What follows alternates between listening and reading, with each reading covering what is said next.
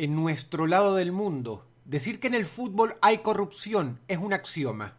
Es algo tan obvio que la sola afirmación se toma como tonta.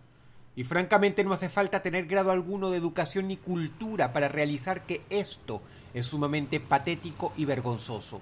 Porque en el fondo, hasta la gente que no tiene nada sabe diferenciar el bien del mal.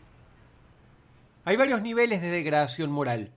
La gente que dirige algunas asociaciones de fútbol ha llegado a aquella que en mi opinión es la más ruin, la más pútrida, el grado en que todos sabemos que son corruptos, que sus delitos, sus abusos, sus excesos desaforados y vomitivos son cosa hasta de conocimiento popular, y uno no sabe qué es más patético e insoportable, que los poderes no puedan o de plano no quieran hacer nada o que a estas mismas personas no les importe en lo más mínimo su imagen pública, no les importe que tanta, tanta gente los acuse de ser criminales y que casi todos sepamos que sea verdad. Pero nunca habíamos llegado al punto en que inclusive las cabezas más altas dentro de nada más ni nada menos que la FIFA sean no solo exactamente iguales, sino tal vez peores, más cínicos que esos pillos que pocos valientes se han pasado años denunciando a riesgos colosales. Pero, ¿sabes una cosa?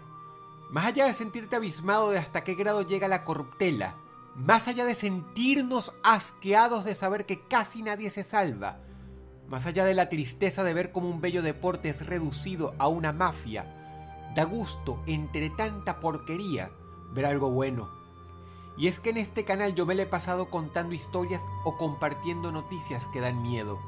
Pero hoy, por fin, me toca hablarte de algo que es brillante para la audiencia y en cambio súper, súper aterrador, quizá lo más perturbador del mundo para esos indeseables de los que me he referido desde que diste play a este video.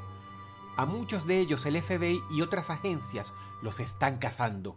Y entre signos de exclamación, por fin, va a ocurrir lo que tanta gente de bien ha estado anhelando, que arrastren a esos elementos y a pesar de sus profundísimos bolsillos, a pesar de su inmenso poder, los echen, los pateen, en donde desde hace probablemente décadas han tenido que estar, tras las rejas.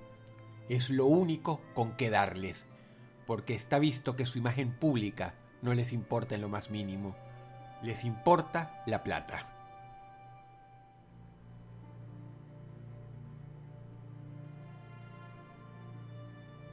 Y es que no hay por dónde mirarlo.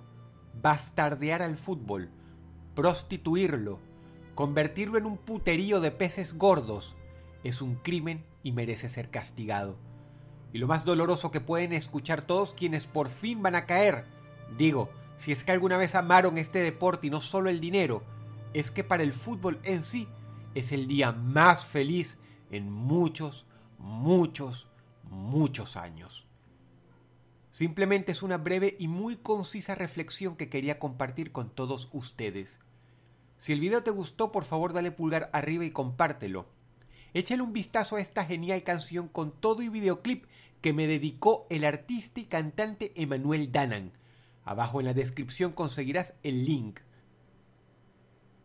Añádete a mis redes sociales en Twitter y Facebook para que podamos estar en contacto, por favor. Te habla Dodoros y te deseo Buenas noches.